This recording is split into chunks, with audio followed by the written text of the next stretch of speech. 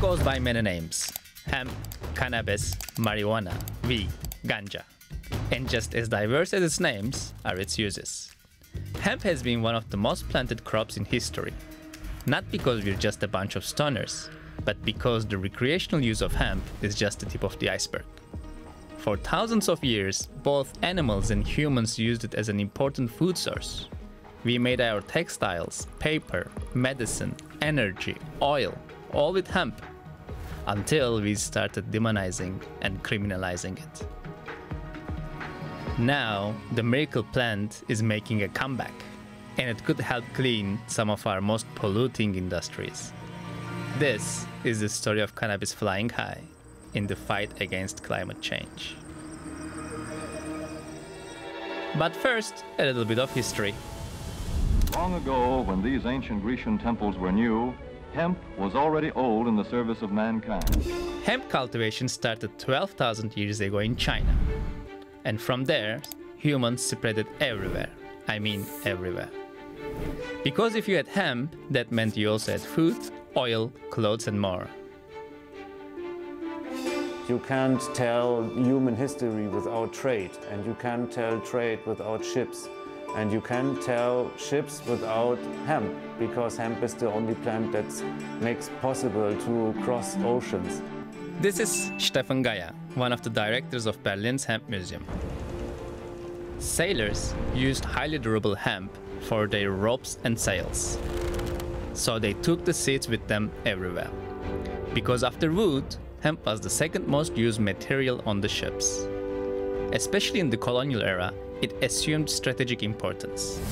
Napoleon forced the biggest hemp producer at the time, Russia, stop selling hemp to his enemies in order to weaken them.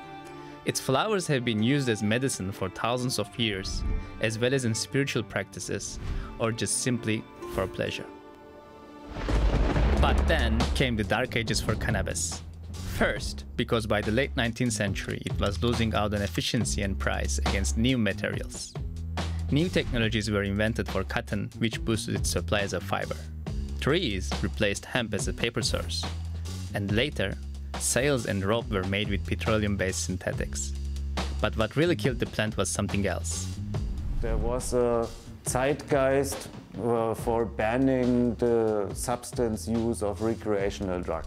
So there was this idea we can control the black parts of our society, the Hispanic parts of our society, the gay people, all these non-white conservative religious groups by saying they're using a new drug.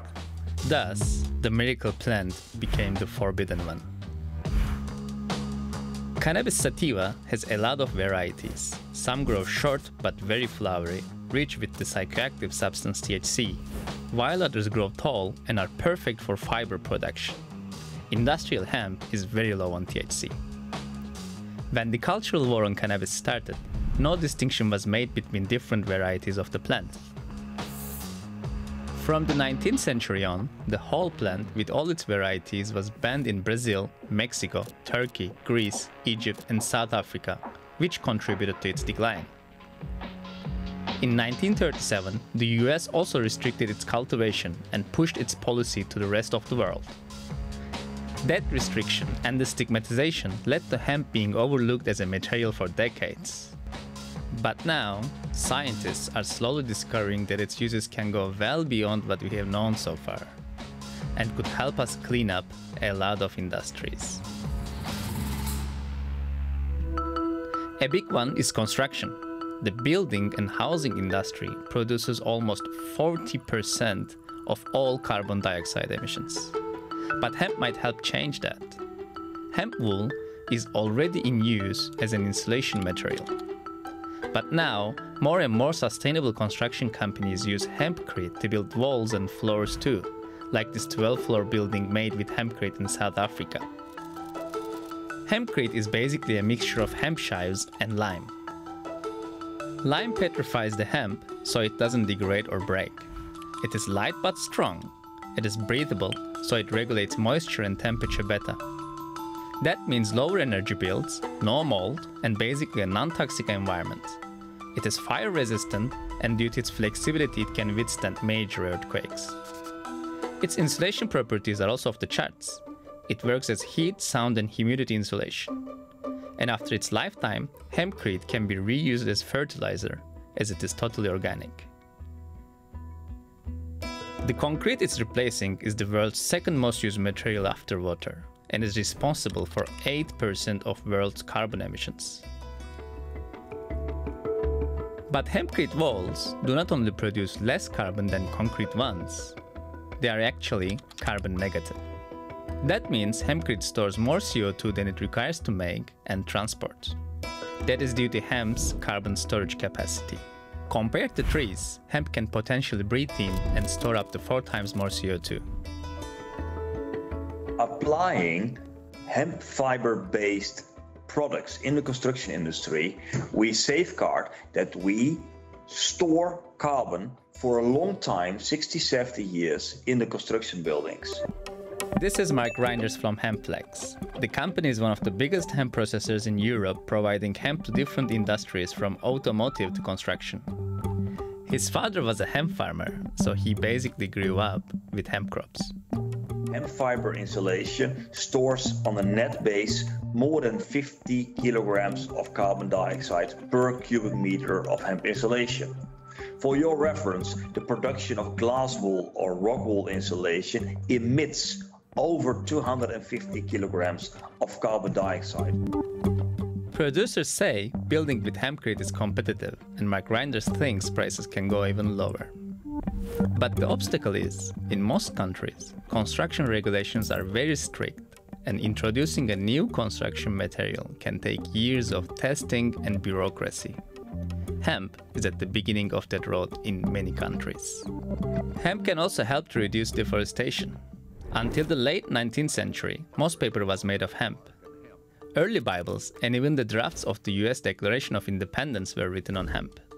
But today, paper is made from trees, and it is one of the biggest drivers of deforestation. Every year we lose forests the size of Portugal. 15% of all trees we chop down are used to make paper. Global demand is expected to at least double, and in some cases almost triple. While we are losing our forests, some companies are more willing to reintroduce hemp into their paper production. Uh, not in the, the, the low end applications like toilet paper, but more in the high end applications like banknotes, uh, value documents, um, but also in cigarette papers. Uh, at the end of the day, you will smoke it anyway.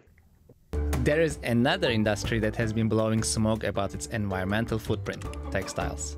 Textile industry is a little bit the holy grail, the Champions League uh, for, for any fiber. It's also a champion polluter because cotton needs a lot of toxic pesticides and water. In fact, 54% of all the pesticides used in India, the world's leading producer, is used in cotton plantations. Not to mention that it kills the soil, as well as draining scarce water sources. Just one regular cotton t-shirt uses approximately 3000 liters of water, enough to provide a person with drinking water for almost three years. Now the industry is looking for alternatives. Hemp doesn't need much water, doesn't need much fertilizer, and doesn't need any pesticides to be grown. A hectare of hemp can produce two and a half times more fiber than a hectare of cotton. It can grow up to 5 meters within just 3 to 5 months. Hemp fiber is not only better for the environment, but its strong fibers also make longer lasting textiles. Less water, less fertilizer, less land and no pesticides, but stronger and lasting fibers. But there's a catch. If you want to be uh, successful uh, implementing uh, hemp fiber into the textile industry, we have to modify the hemp fiber to the existing textile machinery because other way around is not going to happen because the investments to do so are just too high.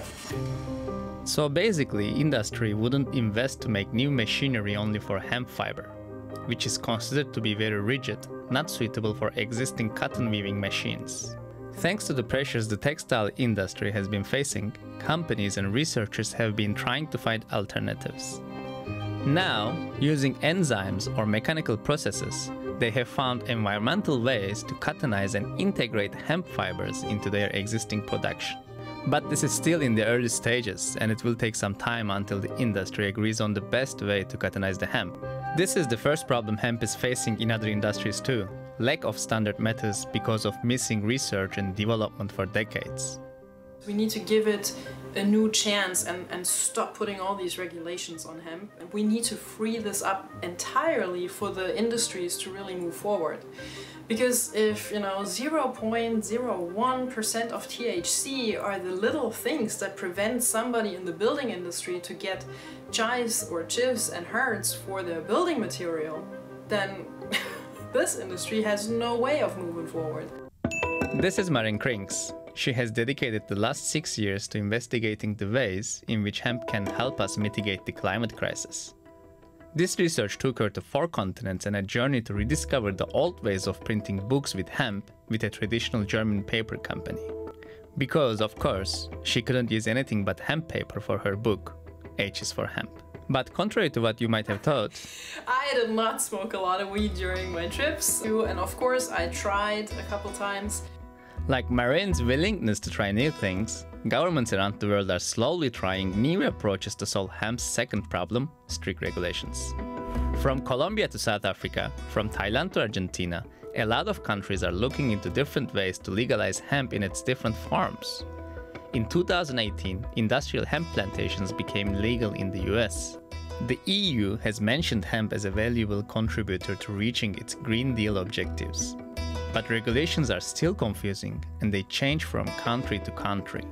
Some countries like Colombia define industrial hemp as any cannabis sativa plant with THC levels up to 1%, while it is 0.2% in the EU and 0.3% in the US. These differences, plus the fact that marijuana is still a controlled substance, scare off the investors. But against all odds, global industrial hemp demand was calculated to have a $4 billion market value in 2021 and is expected to reach almost $17 billion by 2030. If we include legal, THC-rich cannabis for medicinal and recreational purposes, the market value is expected to reach $176 billion by 2030. Creating new supply chains for all these different industries and making sure it is economically viable will be another big challenge. We've hammered it down into uh, humanity's head that this is an illegal and massively bad plant. Now we have to unlearn all of these lies and all of this misconception about the plant. And it will take a lot of effort. When we end the prohibition of marijuana, then there will be thousands of new companies that start a, a, natural resource business. And the future of hemp is green. Uh, I'm not saying hemp is the only solution. I do believe we need need to do way more than only grow hemp to to fight the climate change. We haven't even talked about the nutritional and medicinal uses of the plant.